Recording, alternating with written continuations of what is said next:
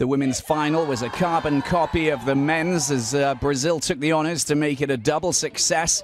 Deborah Vanin came close on 19 minutes, but Anastasia Ivanova got in her way. Renatinha also had a great chance, but her shot whistled past the woodwork. The same player finally got the goal. Diana Santos netting up the, setting up the striker who fired home to score what was to be the winning goal. Final score Brazil 1, Russia nil.